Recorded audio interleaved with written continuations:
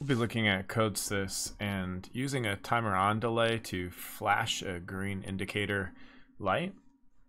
We've created our stop, start, and system Boolean variables. We have a connection between the green and elapsed time variable, and we also have our two timer on uh, delays, and we have a secondary elapsed time. We're connecting the outputs with green and green, and then our output finally is the green light. If we look at our ladder logic, we have a simple start stop that turns on our system.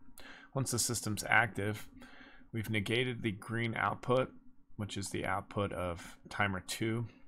Timer 1 outputs green 2, and green 2 activates timer 2. This allows us to turn one on and off every 500 milliseconds. When green 2 is activated, then green light is on. Let's see this in simulation. I'll start my simulation.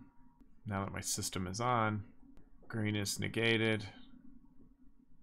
It turns this timer on every 500 milliseconds.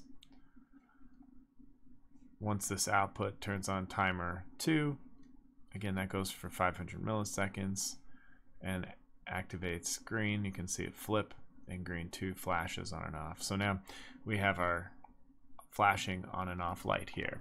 Turn using one timer on delay to activate the next. To reset, we can just hit our stop